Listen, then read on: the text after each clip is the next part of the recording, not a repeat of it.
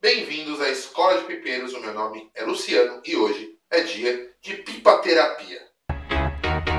Vou cortar, vou aparar, vou retalhar, fazer a limpa. Hoje é dia de pipoterapia e a Escola de Pipeiros recebeu muitas, mas muitas, muitas mensagens quando, nós, quando eu ensinei aqui no canal a fazer o gabarito de pipa de papelão. Eu ensinei aqui no canal a fazer esse gabarito aqui, que é um gabarito de papelão, usando somente papelão, cola e prendedor de roupa. Por incrível que pareça, só material reciclado. E nós temos esse gabarito aqui, ó, top. Ele não fica envergando, muito fácil de fazer, muito bom. Você pode ter vários gabaritos, de, vários modelos de pipa na sua casa porque isso daqui não ocupa muito espaço. Então, muita gente gostou, teve muita visualização, teve muitos comentários bacanas, muita gente fez, muita gente está fazendo. Então surgiu a questão. Pediram de novo para a escola de pipeiros mostrar como faz um gabarito de pipa de vareta envergada. Ou seja, GT que é envergado para cima, camarão que é envergado para cima, charuto que é envergado para baixo, todas aquelas pipas que têm varetas envergadas, umas têm envergação para baixo, outras têm envergação para cima, envergação na vareta de cima, envergação na, barata, na vareta de baixo, inde, na barata não. Na barata não. Envergação na vareta de baixo. Então, tem vários tipos aí de, de jeito para a gente poder fazer. Então, eu vou mostrar para vocês hoje aqui como fazer esse gabarito, tá? De vareta envergada, usando novamente papelão. E detalhe, falaram para mim que papelão não segurava para fazer pipa grande. Vou fazer de 70 centímetros. Para você ver como dá para fazer no papelão sim. E fica um espetáculo. Fica top demais. Só que é o seguinte, vou pedir para vocês deixar o dedo no like.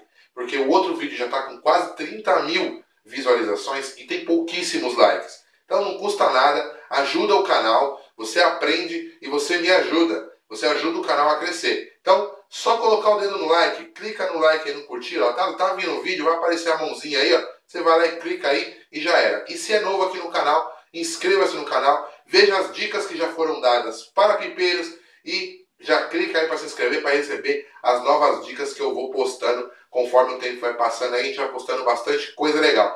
E se tiver alguma sugestão para o canal, deixa aí embaixo aí alguma coisa que você queira aprender, alguma coisa que você não viu em nenhum outro canal, que você quer aprender, deixa aí que a Escola de Pipeiros traz para vocês em primeira mão, beleza? Então agradeço todo mundo que está assistindo muito bacana. Já passamos de mil inscritos. Vamos ver se a gente consegue bater aí 10 mil rapidinho, certo? Então, vamos então para o tutorial de como fazer esse gabarito com varetas envergadas, tanto para cima quanto para baixo, certo?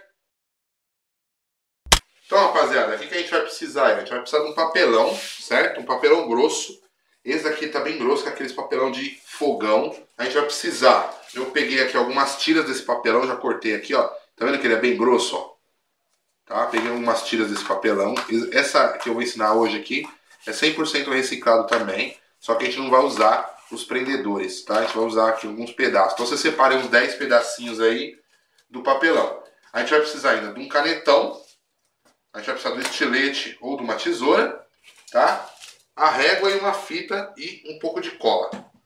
É o que nós vamos fazer, vamos usar aí. E claro, o mais importante de tudo, você vai precisar de uma armação aí, ó, da pipa que você vai fazer. Eu peguei aqui uma, uma, um, uma GT, ela tem 70 centímetros e a vareta envergada para baixo, tá? Então, você pode fazer tanto para GT quanto para charuto, qualquer pipa envergada. Envergada em cima, envergada embaixo. O que eu vou mostrar aqui serve para todos os modelos de pipa envergada. Então, o que, que você vai fazer? Você vai posicionar aqui a sua armação. Então, você pode deixar uma sobra aqui para cima, uma sobrinha para baixo, que depois a gente vai cortar aqui do lado, não tem problema. Se faltar que nem o meu aqui, ó, não tem problema. Então, a armação tem que estar tá com todas as medidas iguais. Se você não sabe fazer uma armação com as medidas iguais, vou deixar na descrição do vídeo como fazer uma armação perfeita. Então, porque senão ela sai, se a armação estiver torta, o seu molde estiver torto, torto, tudo vai sair torto. Aí eu vou pegar aqui uma fita, ó, vou prender aqui em cima, e vou pegar os pedaços e vou prender aqui embaixo. Então você nivelou ela aí, ó, e prendeu. Nós vamos pegar um canetão aqui, ó, e a gente vai riscar os dois lados aqui da vareta, toda a nossa armação. Aí nós riscamos aqui, ó, aí você pode tirar de cima a sua armação, ou você pode ainda manter ela presa aqui. Aí vai de você, tá? Então, aí tanto faz. Eu vou tirar ela de cima, porque eu já tenho o que eu quero. Eu tenho aqui a parte da enverga, ó. Vou virar aqui e mostrar pra vocês, ó. A parte da enverga podia ser tanto para baixo, quanto podia ser para cima no caso de um charuto. Aqui embaixo está reto, mas também podia ser envergado, que a técnica vai ser a mesma. A mesma técnica, tá? Então o que, que a gente vai fazer aqui agora? Lembra os pedacinhos aí, ó, que a gente cortou? Tá vendo os pedacinhos que a gente cortou? Tem esses pedacinhos aqui. No seu papelão, vai sobrar aqui, ó, uma lateral. O que, que você vai fazer? Você vai pegar aqui sua armação, ó, você põe aqui na parte que sobrou, a parte aqui que está envergada, e você vai fazer isso daqui, ó. Você vai marcar aqui, tá? Vai descer um pouquinho mais para baixo. Vai marcar de novo. Você vai ter um contorno aqui. Vai ficar parecido com esse daqui, ó. Tá vendo aqui? Então, vai ficar igual esse. Então, o que, que a gente vai fazer? A primeira coisa que nós vamos fazer aqui, no nosso molde, é pegar essa parte aqui, ó, que já tá envergada, tá vendo? Que é exatamente o molde que eu tirei. Então, eu vou cortar isso daqui no meio. Aí, para vocês verem aqui, ó, tem um lado aqui, ó, da enverga, eu tenho o outro aqui, ó. Então, eu vou pegar minha cola, vou passar aqui, ó. É com dó de gastar cola não, tá? E você espalha com o dedo, com o pincel aí, do jeito que você achar melhor. No papelão todo, tem que ser no papelão todo. Aí você vai vir aqui, ó, vai posicionar certinho a marquinha que você fez com, caneta, com o canetão aqui certinho. Posicionou, ó. Aperta um pouco aqui para marcar, vai ficar colado certinho. E você vai fazer a mesma coisa com o outro aqui do outro lado, ó. Tá vendo? Vai passar cola aqui, ó. E a gente vai espalhar a cola aqui.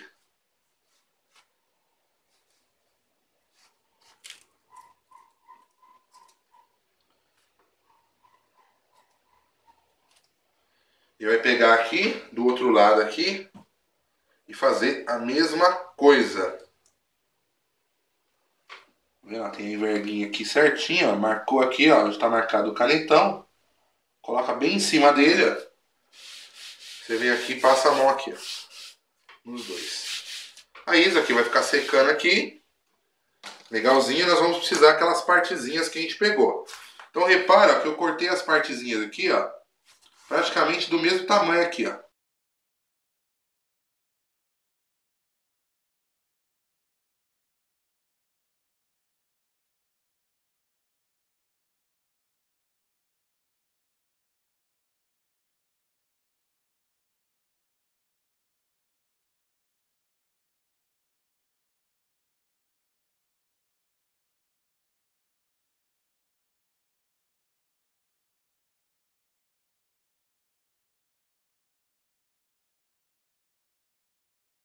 Aí, ó, você vai pegar dois quadradinhos aí, ó, e você vai pegar, passar cola aqui neles, claro, né? Espalhar a cola de novo. E aí você vai colocar bem aqui na sequência aqui, onde você marcou com a vareta aqui certinho, ó. Tanto de um lado quanto do outro. Tá vendo? Ali vai encaixar aqui certinho, ó.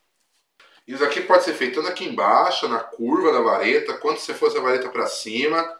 Como eu falei, de todas as formas aí você podia, pode, ter, pode fazer, que vai dar certo. Aí você colou tudo, ó. Você vai deixar isso aqui secar um pouco, tá?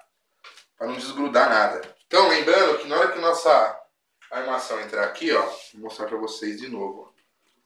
A armação entrou aqui, ó. Tá vendo? A armação entrou. Certo?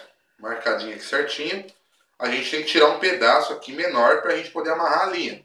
Então eu vou seguir aqui o padrão que já está aqui da armação. Tá? Então eu vou vir até aqui, ó, mostrando para vocês aqui a caneta. Onde que eu vou cortar exatamente? Vou cortar aqui e vou cortar aqui. Isso dos dois lados, tá vendo? Então eu fiz a marca lá, ó, vou fazer a marca aqui, mesma coisa. Dá mais ou menos a grossura da régua, certinho, a grossura da régua. Pronto, ó. Pra ficar padronizado aí pra você. E aí a gente tem aqui em cima também, tá vendo? Aqui a parte do bico, então você risca aqui também, ó. A mesma coisa, a grossura da régua. A grossura da régua, tanto de um lado quanto do outro. Então, ó, toda essa parte marcada aqui é a parte que a gente vai tirar fora. Então, você pega o estilete, toma cuidado. Tá? Se você for de menor, não souber, não manjar mexer com o estilete, pede para seus pais te ajudarem. Pro seu irmão mais velho, pro tio, pro vizinho, pra professora. Tá? Que estilete corta e machuca feio. Certo?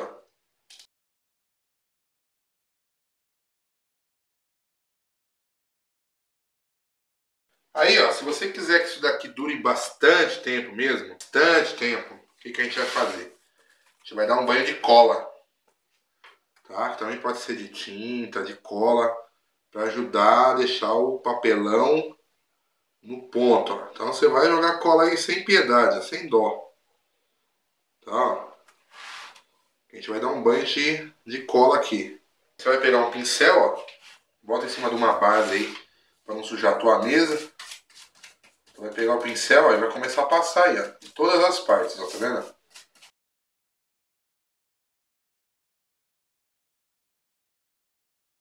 Tá vendo? Como que fica? Aí agora é só deixar a sacola secar.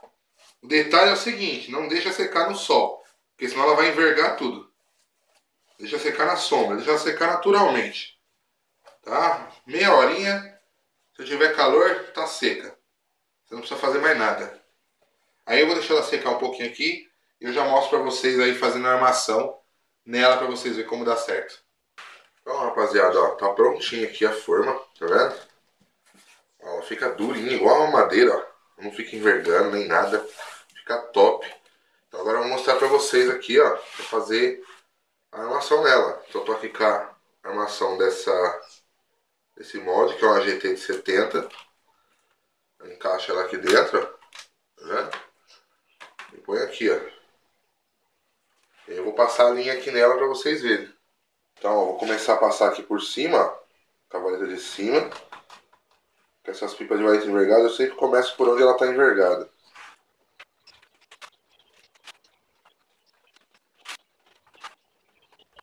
Aí, tá vendo? passei a linha em volta dela toda.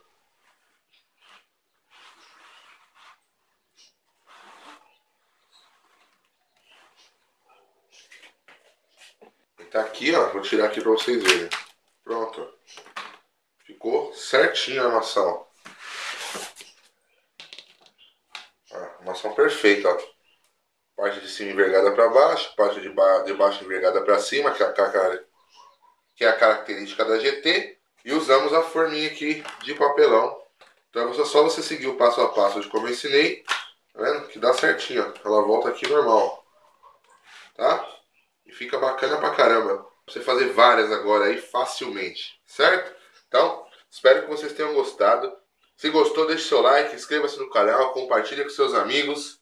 Nos vemos nos próximos vídeos, é Pipa Terapia.